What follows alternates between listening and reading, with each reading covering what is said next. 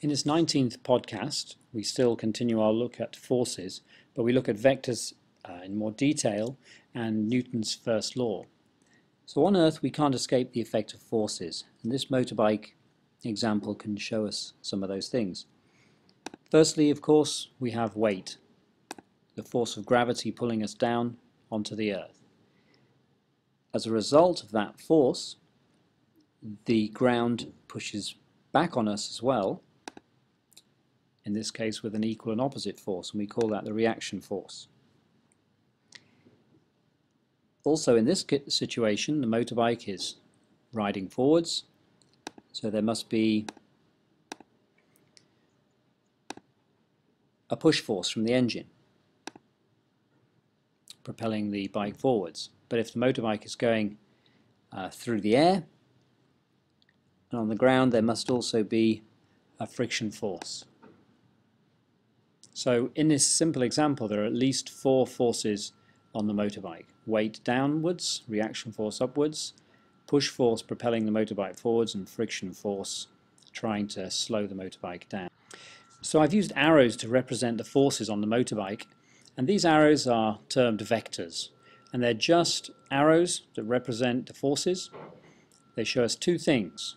They show us the size of the force, so we've got a big force here, small force here, medium force here, and the direction of the force, up, down, diagonally left and diagonally right.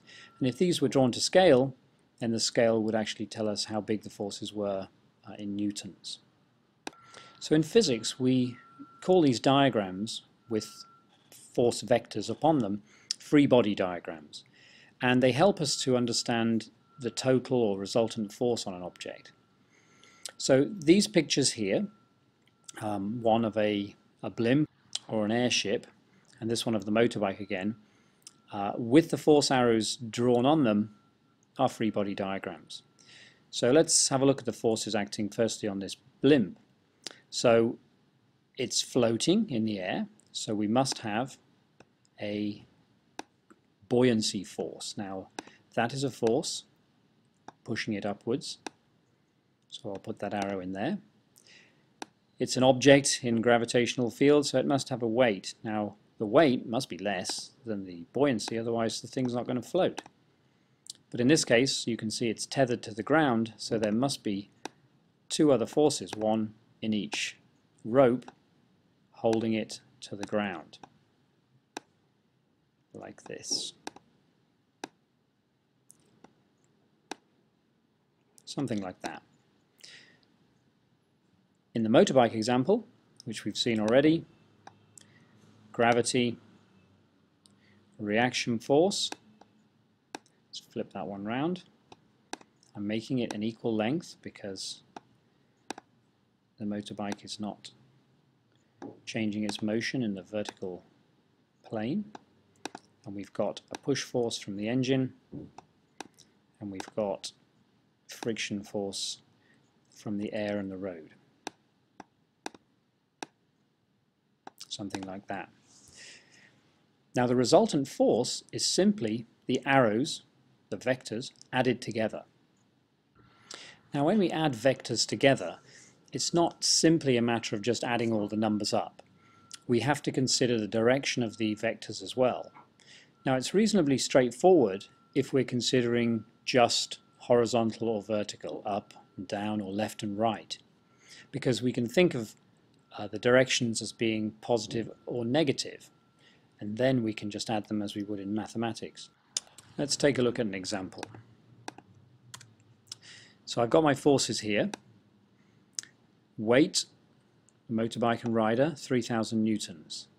As a result, the reaction force from the ground, 3,000 newtons.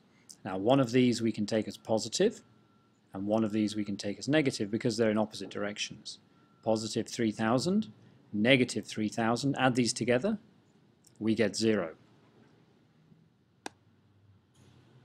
The push force from the engine, 800 newtons, and the friction force from the ground and the air, 300 newtons. We can take one of these as positive and one as negative. Positive 800, negative 300. So 800 minus 300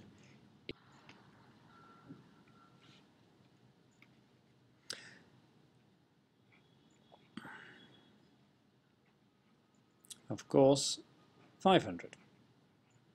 So the resultant force on the motorbike is 500 newtons to the right. Now that suggests that this motorbike is actually accelerating in this direction. It's getting faster. So let's look at another example. Here's the space shuttle, now uh, defunct. We have the thrust from the engines, a very large thrust, and of course it's an object in the gravitational field of Earth, so we have the object's weight in the opposite direction, and we also have the drag force uh, we could call that uh, a friction force. So we've got thrust from the engine, we've got weight due to gravity, and we've got drag force there. Now if we put some numbers to these things, let's say the thrust is about 10,000 newtons and let's say the weight is 3,000 newtons and let's say the drag is 4,000 newtons. Now we can see that the thrust is in the opposite direction to the weight and the drag. Let's call the thrust positive and let's call the weight and the drag negative. Now we can see that the resultant force on this object is going to be 10,000 added to these ones here, and these are negative, so we have 10,000 minus 3,000 minus 4,000, which equals positive 3,000 newtons.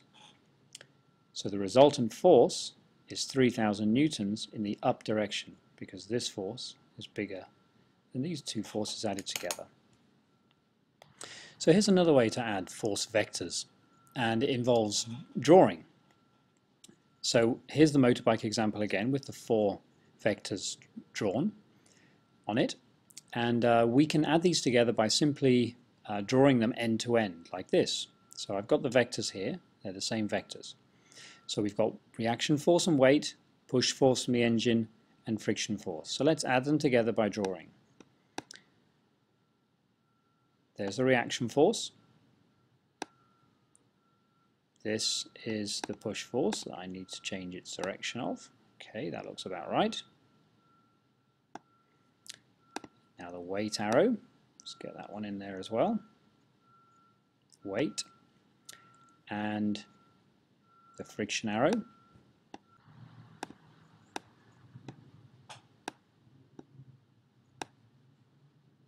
So just the direction of this one, from left to right. It's about right. There we go. Now, this shape doesn't close, which means there is a resultant force. If this shape had closed with the final vector joining with the start of the first vector, then we know there is no resultant force. So we know there is a resultant force now, and the resultant force is simply an arrow drawn from the start of the first vector to the end of the last vector. So let me show you that. Let's get an arrow. So that is the resultant vector from this position to this position. So it's pointing in the to the right, which means the resultant force is this much force, Again, we don't have a scale, but we can see that it's to the right, which means the motorbike is uh, accelerating to the right, getting faster to the right. And we can see that really just by looking at this diagram because the up and down forces are equal in length, so they sort of cancel with each other. But this force, the blue one, is longer than this force, so this force beats this force if you like, and the resultant force is to the right. Here's something a little bit more tricky. Now, let's take this aeroplane, for example. It's banking, which means it's turning. And if we look head on, the aeroplane looks something like this. So what are the forces acting in the vertical plane? So of course, we have gravity acting down, and we have a force called lift acting up, but it's not acting directly up. It's acting in this direction, like so. So how do we work out the resultant force in this case? Well, again, we can uh, use the same sort of technique as before. And here we go. I'm just going to uh, ungroup these arrows here. And what we can do is we can again draw the forces end to end and we can find the resultant force in that way. So the lift force, the blue one, I'm going to leave where that is, where it is. And I'm going to draw the weight arrow down here and an arrow drawn from the start of the first vector to the end of the last vector is the resultant force. So let's take that one start of the first vector to the end of the last vector, and that is the resultant force. So we can see the resultant force is to the right. And in fact, we know it should be to the right because the aeroplane is going to bank and it's going to turn in this direction. It's going to turn to the right. So we need that resultant force to push it in that direction. So let's take a look at some of uh, Newton's laws of motion. So he first published his three laws of motion in 1687 in uh, the Philosophiae Naturalis Principia Mathematica. And this is an actual page from the first edition, and it relates it, uh, to the first law. This is actually the first law here, which states that every body persists in its state of being at rest or of moving uniformly straight forwards, except in so far as it is compelled to change its state by force impressed, or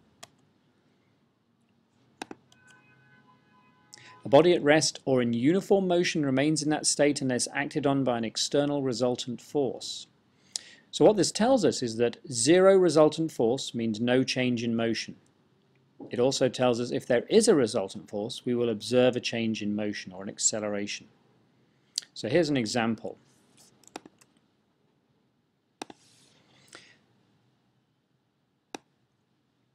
Here we are with weight and reaction force, drag, and thrust.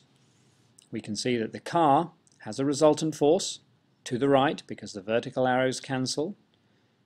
The horizontal arrow to the right is longer than the horizontal arrow to the left. So the resultant force is to the right. This means the car will not remain at rest and will not remain in, a, in uniform motion. It will accelerate. So let's take a look at a, another example. Here we have a submarine, a beautiful yellow submarine, being propelled forwards by its engine, but experiencing drag due to the water. It has a buoyancy force, keeping it from uh, sinking completely, and it has a weight due to gravity. Now we can see that the horizontal forces are equal in length but opposite in direction, so they will cancel out we can see the same thing is true about the vertical forces, equal in length but opposite in direction. So they will cancel out. So this submarine will remain in uniform motion, which could be stationary, it could be moving uni with uniform speed to the left or to the right, and with uniform speed either up or down, but it won't be accelerating. So in summary, vectors show us the size and the direction of a force. They can be added together to give the total or the resultant force. Newton's first law tells us what will happen to an object given its resultant force. So if the resultant force is zero, the object's motion won't change. It will remain at a constant speed or not moving. Uh, and if it's not zero, it will accelerate. It will either get faster or possibly get slower.